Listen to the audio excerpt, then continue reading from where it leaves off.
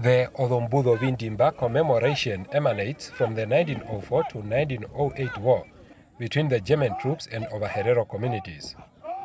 It is at this place where General Otto von Trotha issued the extermination order to eliminate Ovaherero speaking communities on site. The day has since become an annual commemoration to reflect on what has happened and to discuss the way forward. This weekend we came here to commemorate. This weekend we came here to commemorate and to make a roll call of our people, the different areas where they live, and to recall our history and to see what is the way forward.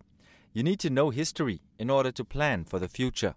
Other development activities are also discussed at this platform and where various traditional activities are being practiced. Garia Kavari, NBC News, Hobabes.